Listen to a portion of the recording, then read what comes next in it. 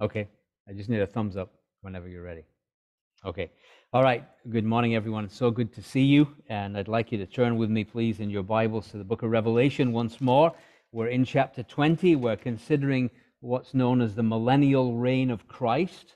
And I'm going to read uh, from verse 1 uh, down to verse 10. And so it begins this way And I saw an angel come down from heaven, having the key of the bottomless pit and a great chain in his hand, and he laid hold on the dragon, that old serpent, which is the devil and Satan, and bound him a thousand years, and cast him into the bottomless pit, and shut him up, and set a seal upon him that he should deceive the nations no more till the thousand years should be fulfilled. And after that, he must be loosed a little season. And I saw thrones, and they sat upon them, and judgment was given unto them. And I saw the souls of them that were beheaded for the witness of Jesus and for the word of God, and which had not worshipped the beast, neither his image, neither had received his mark upon their foreheads or in their hands.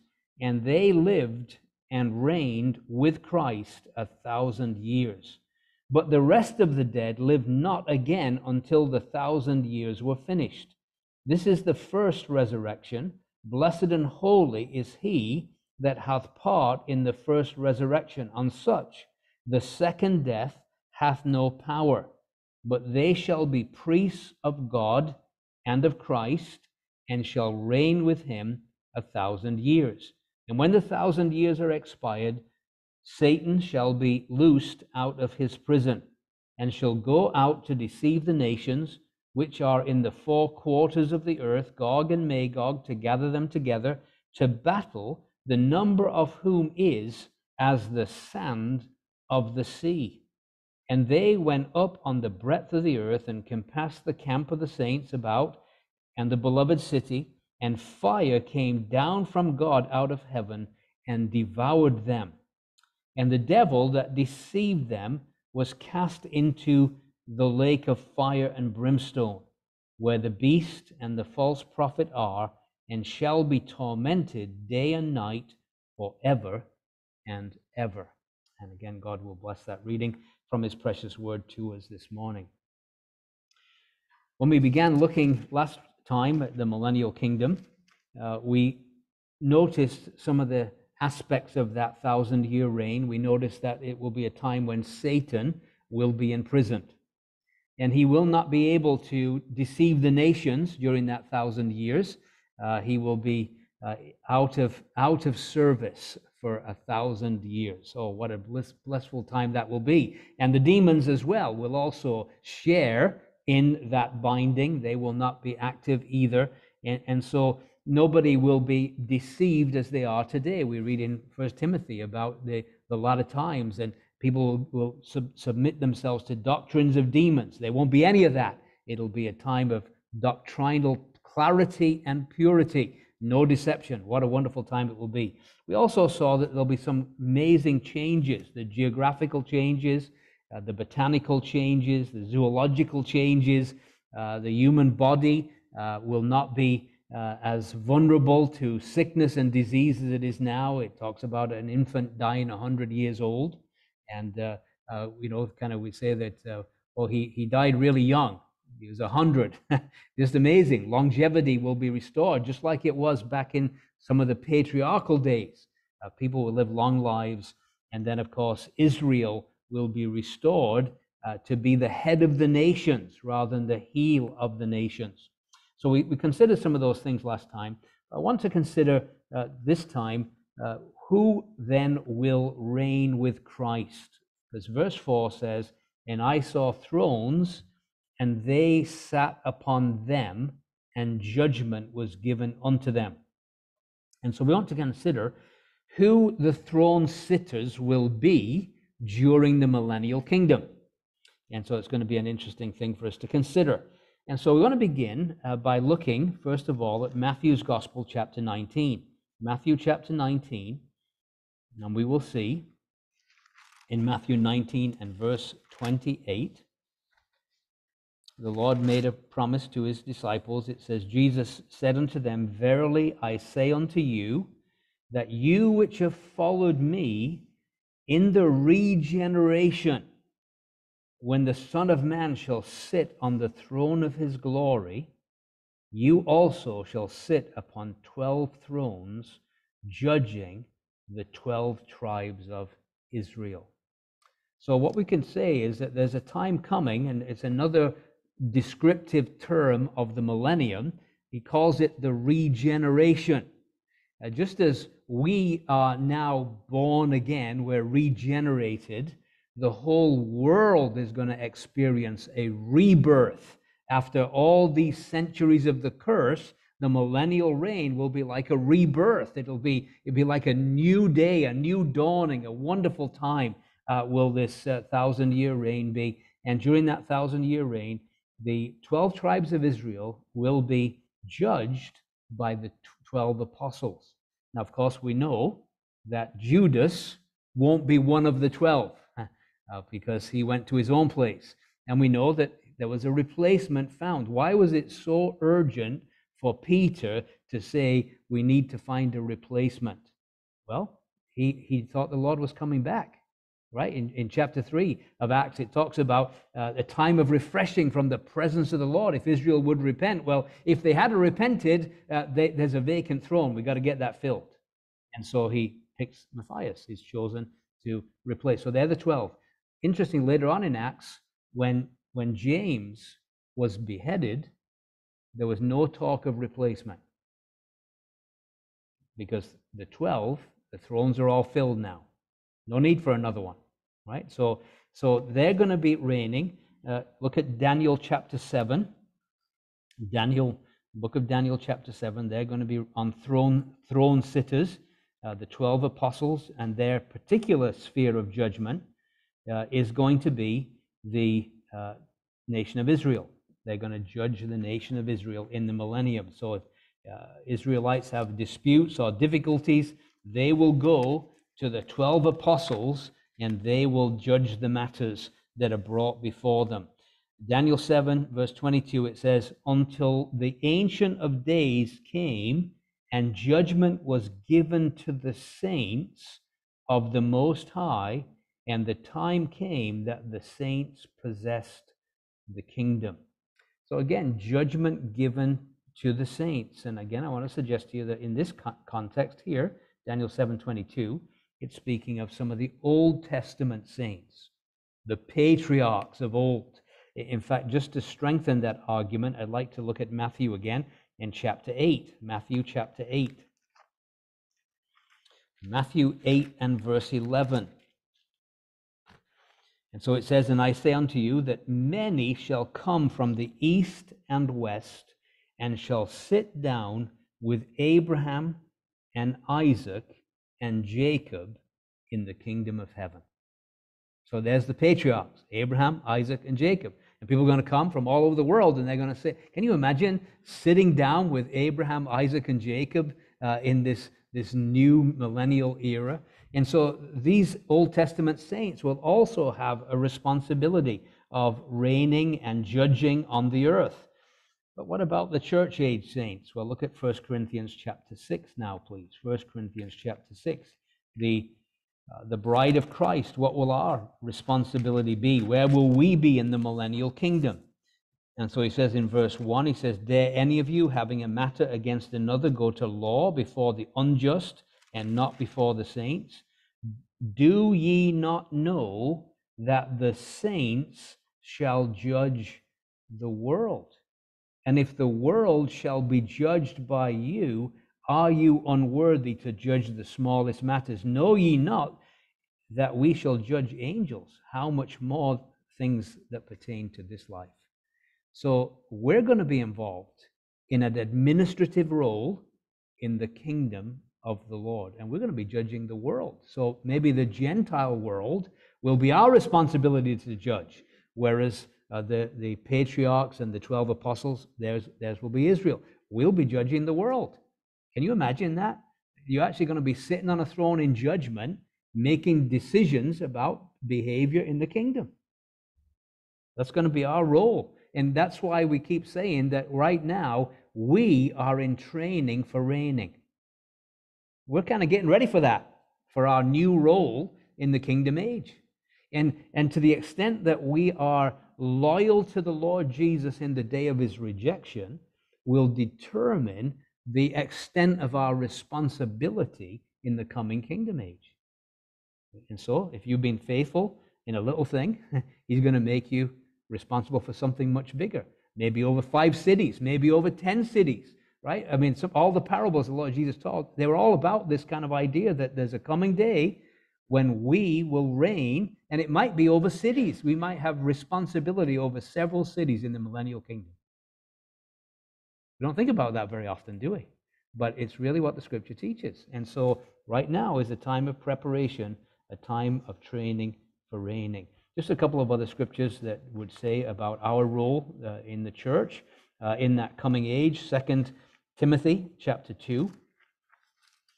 2 Timothy chapter 2, and we look at verse 11 and 12, and the verses that we're familiar to us, but uh, it's good to be reminded. It's a faithful saying, for if we be dead with him, we shall also live with him.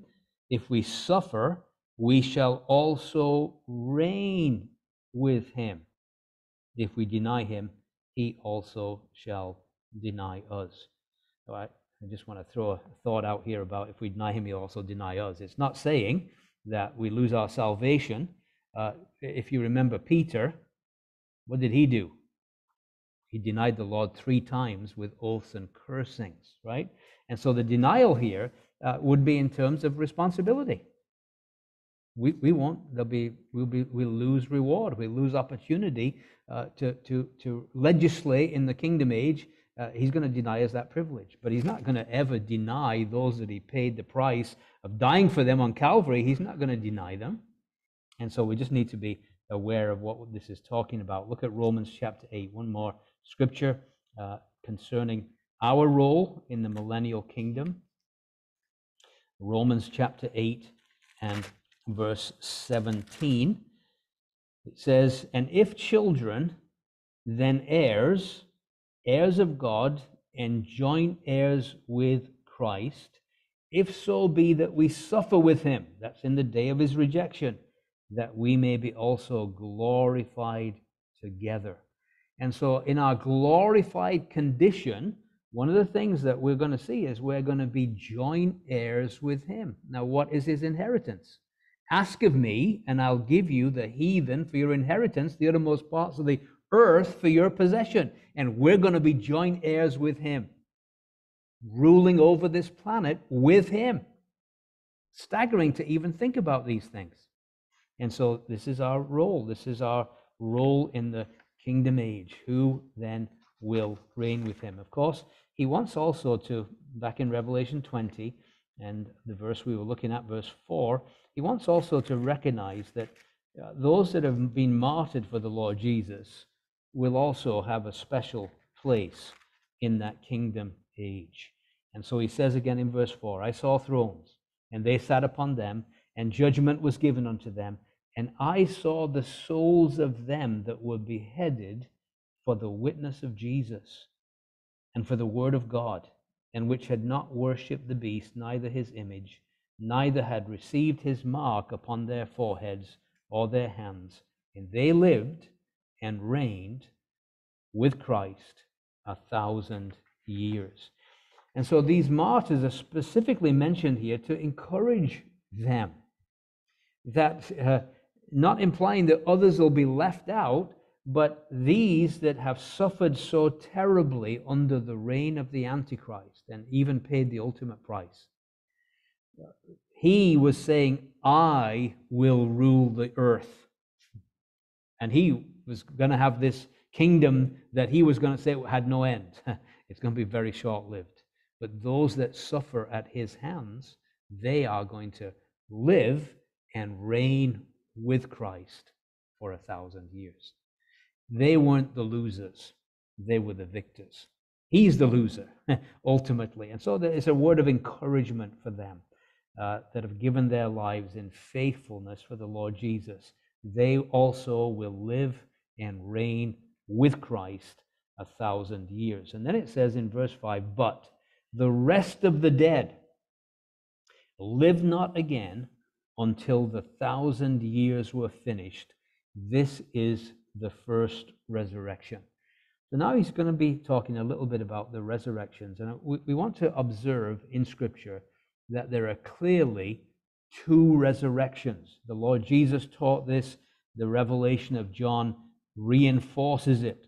Uh, there's the first resurrection, and then there is this second resurrection, which is a resurrection of judgment. And if you look back to the Gospel of John, John's Gospel, chapter 5,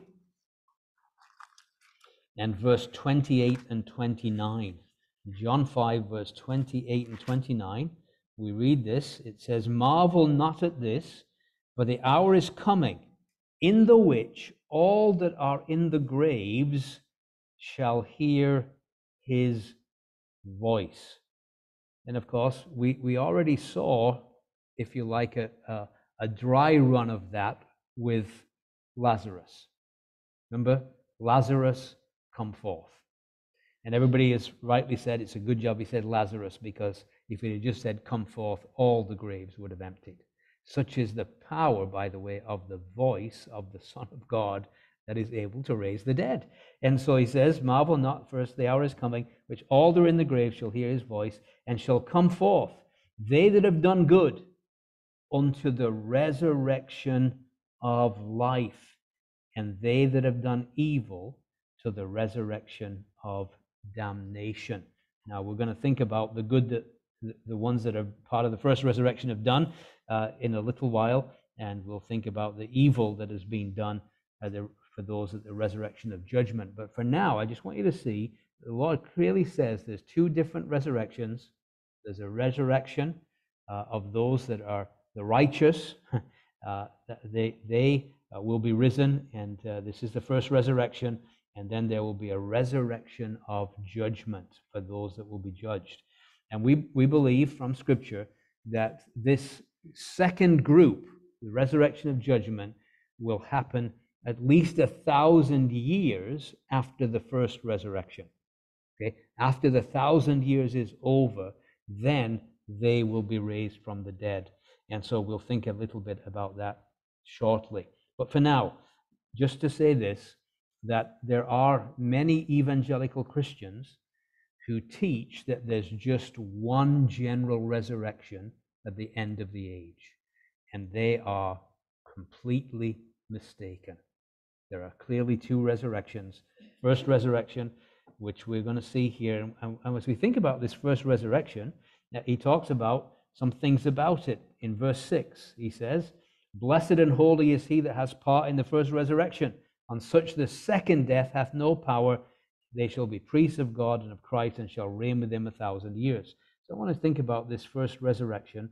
And we would say that it's um, a granting, let's explain what we mean, of resurrection life in resurrection bodies to all those that have at some point put their trust in the Lord Jesus.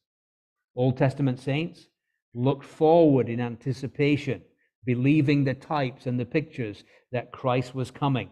New Testament saints look back to Calvary, but they all are going to be saved, everybody who's going to be part of the resurrection of life, on the same basis.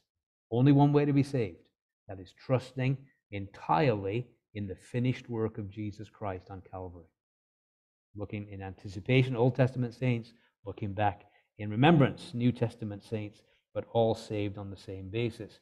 And so, this first resurrection, and just to think that we'll be given the resurrection of life and resurrection bodies as well. And we're going to need them to, for our new environment. We're going to need these resurrection bodies to be able to even take it in the wonders of it all, the glory of God, to be able to, to somehow look and gaze on the Lord of glory without being destroyed. Resurrection bodies are going to be very needful. We're going to need these new bodies.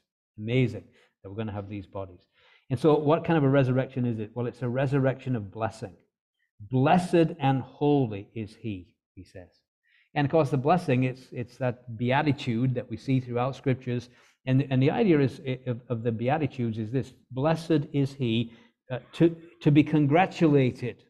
That's the idea. This guy is so incredibly blessed. Uh, he, he, should be congratulated. Should, should be just kind of uh, just recognize what, how blessed he is. And what a wonderful thing, isn't it? That we will one day have new bodies.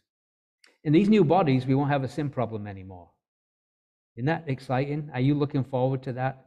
No longer having to say, Lord, it's me again. it's the same sin. No, no, we won't have to do that anymore. We will have completely sinless condition in our resurrection bodies. That's something to look forward to, isn't it? That's why we say, even so, come Lord Jesus. Uh, it just it's not just a case of I don't want to go through the tribulation. I'm tired of this internal war within, and I love to. I'm longing to love the Lord with an unsinning heart that has so much appeal.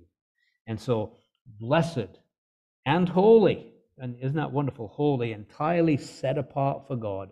Blessed to be congratulated and entirely set apart for God is he that has part in the first resurrection.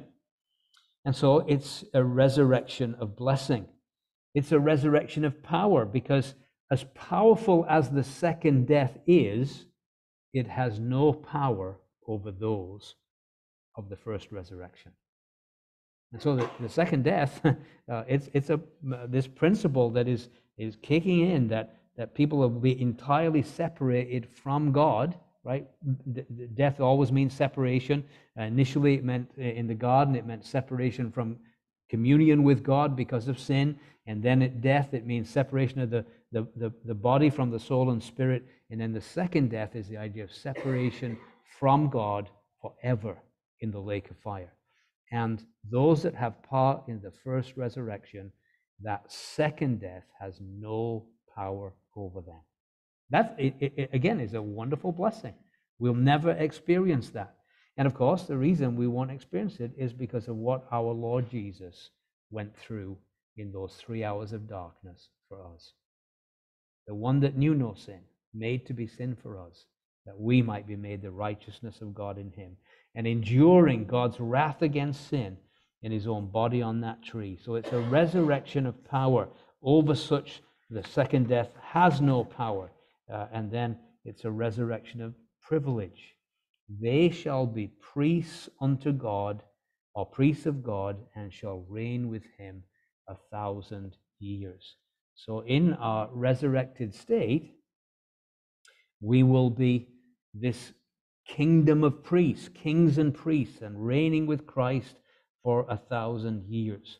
Now, we want to think a little bit about the first resurrection because we don't want to give the impression that it's just one event when all the righteous are caught up at the same time.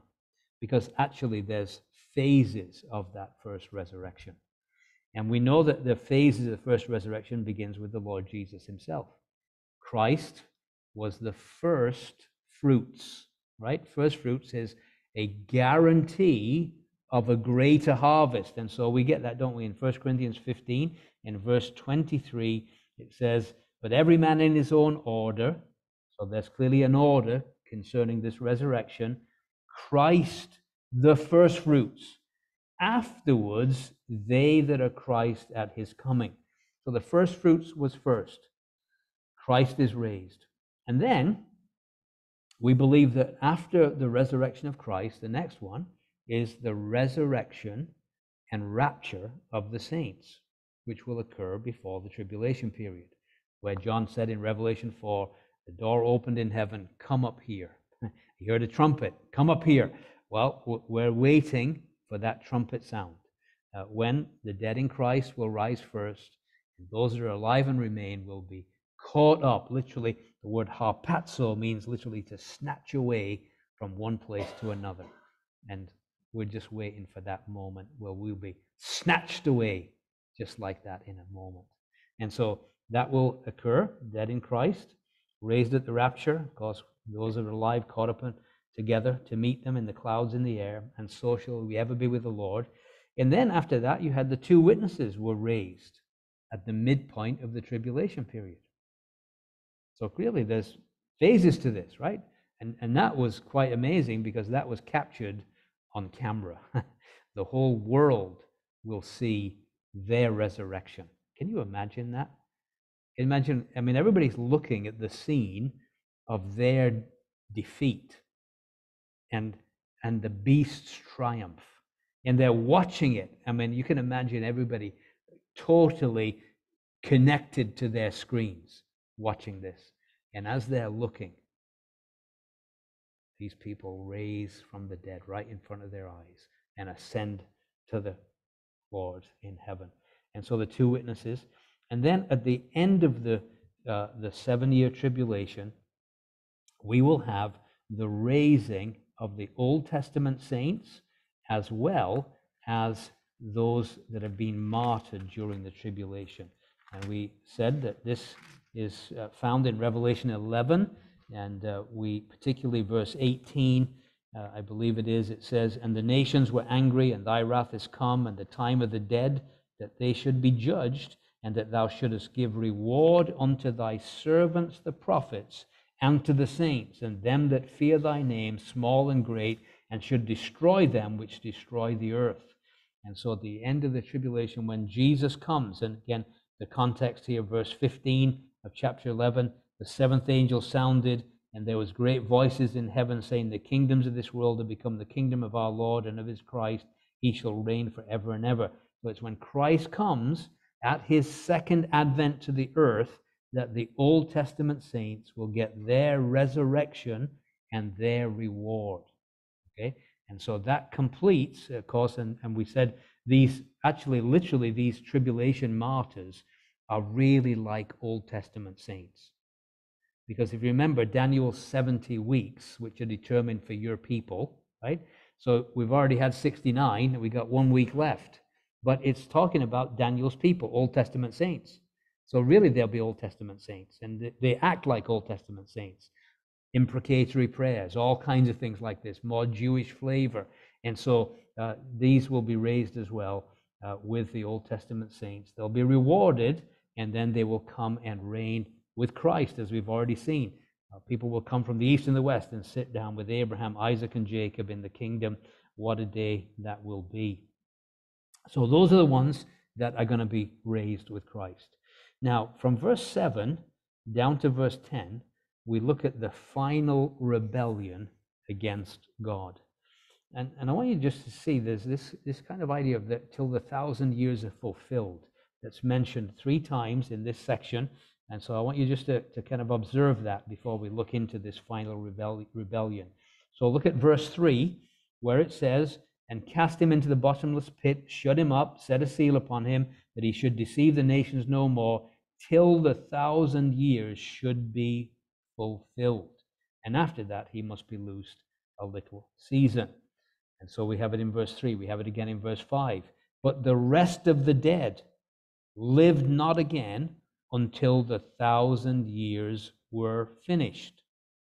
And then, if you look down in verse 7, it says this And when the thousand years are expired, Satan shall be loosed out of his prison. And so the idea is this that this thousand years must run its course. Satan cannot be released on good behavior a day earlier. He has to serve the thousand year sentence. And so at the end of that, he is released for a little season. So there's going to be a thousand years of perfect government on the earth. And so he's loosed out of his prison. Of course, we, we ask the question who then are the rebels who are going to rebel against God? And why did they rebel under perfect conditions?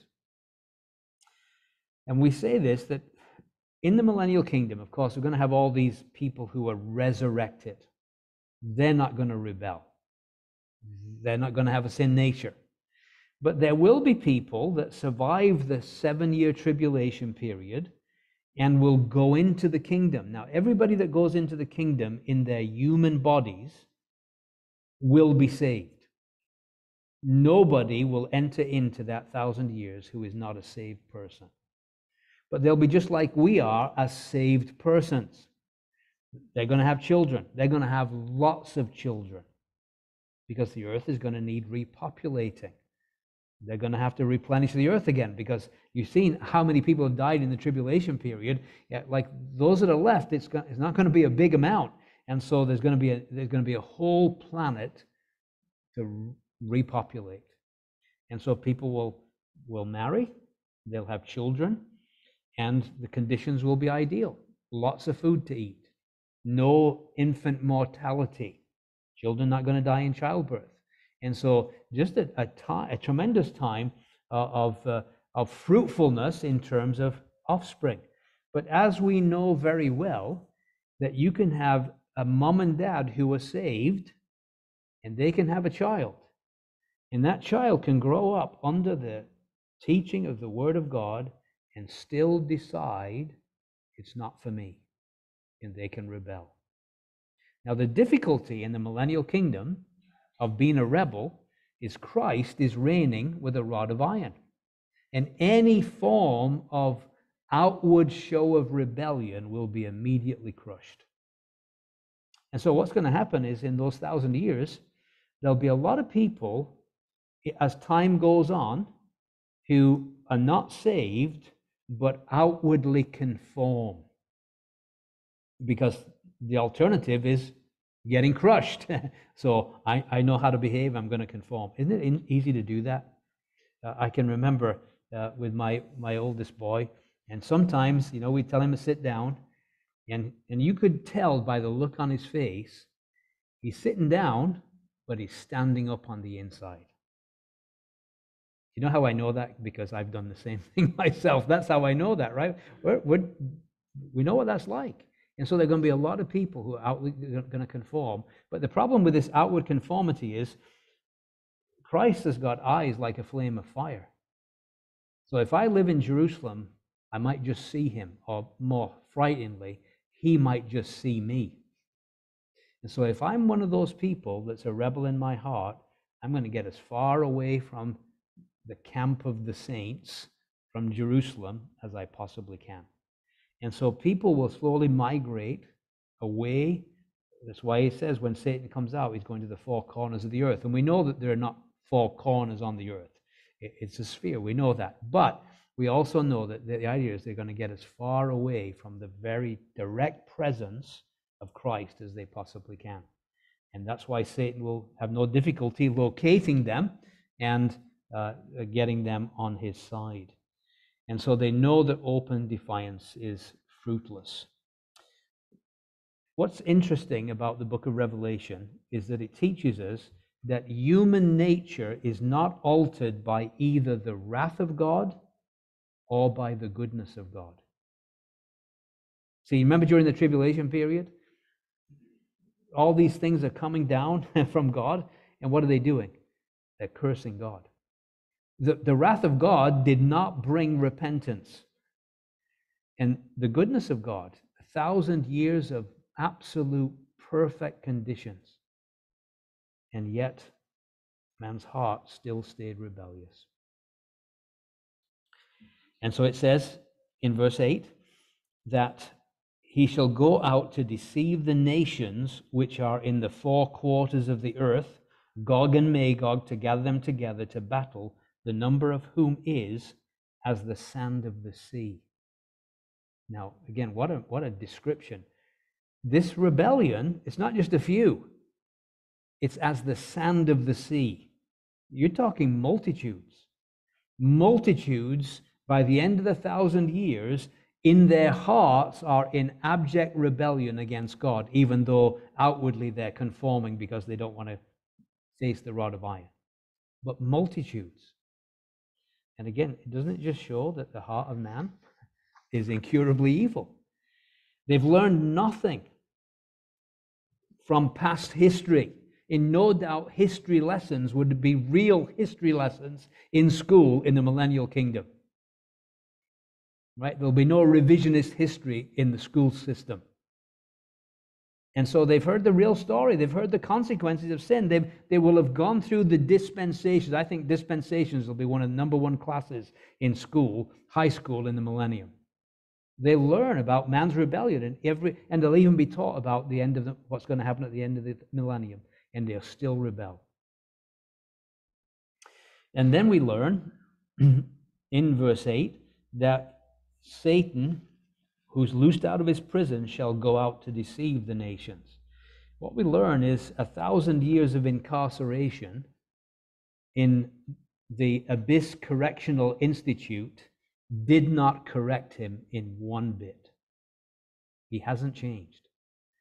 He comes out and he does what he did before. Remember, we when we read about the, the blessing of him being put in the abyss, and it says in verse 3 he cast him into the bottomless pit, shut him up, set a seal on him, that he should deceive the nations no more till the thousand years are finished. And now, verse 8, he will go out to deceive the nations. So, again, same strategy deception, deceiving the nations after a thousand years. And again, uh, he's going to do that. He's going to have the assistance. I believe that his demonic hordes will be allowed out as well to work with him in this. And they will gather all the dissidents and rebels who refuse to bow to Christ and will move uh, towards the holy city with a view of finally eradicating God and his Christ forever. That's always their objective. That's what their plan is.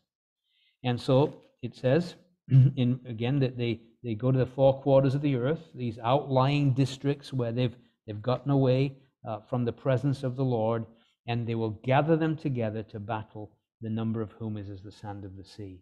So there'll be this last attempt. And he, he describes it as uh, Gog and Magog. Now, again, the, the big question some people say, well, Gog and Magog is also mentioned in Ezekiel uh, and chapters 38 and 39. So is this the same battle in Ezekiel 38 and 39? And I do not believe it is. Believe, and we've said this before, that Gog and Magog will most likely happen at the very beginning of the tribulation when there's this peace going on, when they're talking peace and safety, uh, when when when uh, Israel is a land of unwalled cities. They've kind of let down their guard because they've got this guarantee of seven years of safety. How do we know that it's not the same battle? Well, the way that the battle ends is different in Ezekiel 39, verse 11 through 16, and the way it ends here in Revelation 20. In Revelation 39, let's just look there. Sorry, in Ezekiel 39, let's just look there and see how the battle came to an end against Gog and Magog, the original Gog and Magog battle.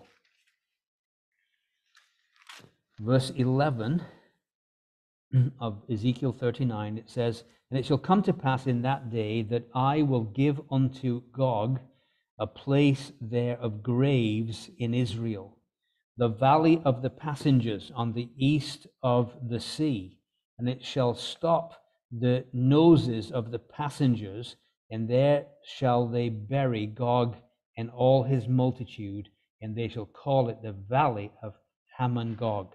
There's going to be this mass burial of all those that perished in the first battle of Gog and Magog, and, and actually the whole area where they're going to bury, it's going to stink because of all the rotting corpses. Uh, anybody traveling by will get the smell of this uh, tragedy. Verse 12 Seven months shall the house of Israel be burying of them, that they may cleanse the land. Yea, all the people of the land shall bury uh, them, and it shall be to them a renown uh, the day that I shall be glorified, says the Lord God. And they shall sever out men of continual employment, passing through the land to bury with the passengers those that remain upon the face of the earth to cleanse it after the end of seven months shall they search. And the passengers that pass through the land, when any seeth a man's bone, then shall he set up a sign by it till the buriers have buried it in the valley of Hamon Gog. And so also the name of the city shall be Hamona. They shall, thus shall they cleanse the land. So there's this, this time frame where there's going to be burying the land, uh, burying the bodies, cleansing the land, Seven months, the house of Israel are going to be involved in that. Now, it's interesting that after this battle, we go straight from this battle to the heaven and the earth passing away in the great they're not seven months. This is instant. We go straight to the judgment at the end of the, the uh, thousand years. Not only that, how they'll be destroyed in Revelation 20, there won't be any need for burial because it says in verse 9, they went upon the breadth of the earth and compassed the camp of the saints about and the beloved city, and fire came down from God out of heaven and devoured them. Nothing left to bury. They're literally going to be burned to a crisp with fire. They're just going to be totally engulfed with fire. No need for burial. And so we see, of course, Ezekiel, uh, the battle, it was a massive earthquake and other divine means that were used here. It's fire down from heaven to consume them. And so, why does he use the term Gog and Magog? Well, this battle will cause people to remember the former battle. It'll remind people that man hasn't changed, that this same rebellious attitude that was found in the Gog and Magog war is going to be seen again in this second war. And so he says, verse 9, they went up to the breadth of the earth uh, and uh, compassed the camp of the saints about and the beloved city, and fire came down from God out of heaven. The beloved city tells us it, it, it's going to be Jerusalem, the center of God's earthly purposes. And so they're going to come against this, this citadel, this camp, the fortress of the saints. Uh, they're going to think that if we can wipe them out, uh, we finally dealt with this problem of, of God and his interference in our way of life. We're going to finally deal with it. And heaven's response is a judgment which is swift, reminding us of Sodom and Gomorrah, fire and brimstone coming out from heaven to destroy them. And notice verse 10 it says, And the devil that deceived them was cast into the lake of fire and brimstone, where the beast and the false prophet are, and shall be tormented day and night forever and ever. In, in one sense, we shouldn't even call this the final battle because really there's no battle. The fight is over before it begins. God finally, at this point, deals with the devil and his followers and he casts them into the place that was originally designed for them. You look back to Matthew 25, we're very familiar with this. Matthew 25, verse 41, it says, Then shall he say also unto them on the left hand, Depart from me, ye cursed, into everlasting fire, prepared for the devil and his angels. It was never God's intention that man should end up in this place. It was designed for the devil and his angels.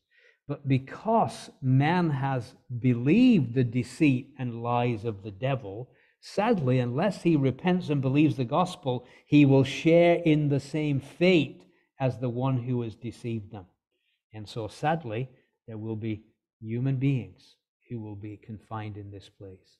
And of course, we have an example here of the beast and the false prophet and what we learn is that they were cast in uh, to the lake of fire. If you remember, they were cast directly into the lake of fire uh, with, without dying, just as we saw Enoch and uh, Elijah taken to heaven without dying. Uh, the beast and the false prophet were cast alive into the lake of fire. We see that in chapter 19 and verse 20. The beast was taken, and with him the false prophet that wrought miracles before him, with which he deceived them that had received the mark of the beast, them that worshipped his image. These both were cast alive into the lake of fire, burning with brimstone. So now, 1,000 years have transpired since the moment they were cast alive into the lake of fire. And it's just interesting how uh, the Word of God wants us to know that they're still there. Because it tells us that the devil is cast into the lake of fire and brimstone. And then it says this where the beast and the false prophet are. They're there still. After a thousand years of conscious torment in the lake of fire, they're still there. The presence of the beast and the false prophet in the lake of fire after a thousand years argues against what is becoming a popular doctrine called annihilationism. An eternal punishment, a thousand years, is just the beginning. It never ends. In fact, it's kind of interesting that it says uh, that they shall be uh, and shall be tormented, the beast and false prophet are, and shall be tormented day and night forever and ever. Now, let me just say this the Greek language couldn't put it any clearer than this. What it's saying is day and night from the ages to the ages. That's the idea. Forever and ever. It's ages upon ages. This, in other words, this is not going to end. This is forever and ever. So we, we have to believe in eternal punishment. I just heard some good news this week. It was very interesting that uh, I just heard it this morning about uh, someone had uh, been at the National Elders and Workers Conference down there in North Carolina, and there's a brother, uh, Josh George. He's a he's an, uh, an Indian brother, very passionate preacher, a young man, just tremendous brother. And anyway, he gave a, a message on the urgency of the gospel, and uh, some of the folks were so pumped up after hearing this message. They couldn't eat, they just went straight to the doors and started knocking on doors in the neighborhood. And the first door they came to was a house right across from the, from the chapel there. And uh, they knock on this door, and uh, a lady comes to the door. She's an ex Jehovah's Witness. And she said, all the years, and her whole family have, have shunned her because she's left the Jehovah's Witnesses. But she says, every, every time I, I, all the years I went out on the doors knocking on doors for the Jehovah's Witnesses. He said, Never has an evangelical ever knocked on my door. They were the first. And she's been reading the scriptures and she's looking for a Bible believing church. So they said, Well, just look across the road. See that building right there? That's where we're from. And so, what a divine appointment.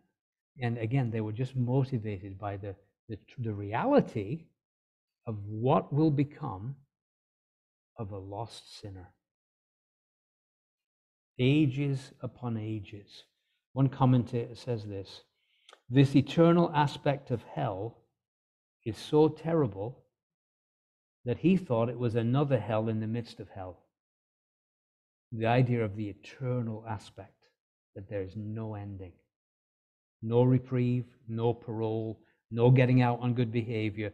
This is forever. It's, it's uh, for the ages of the ages.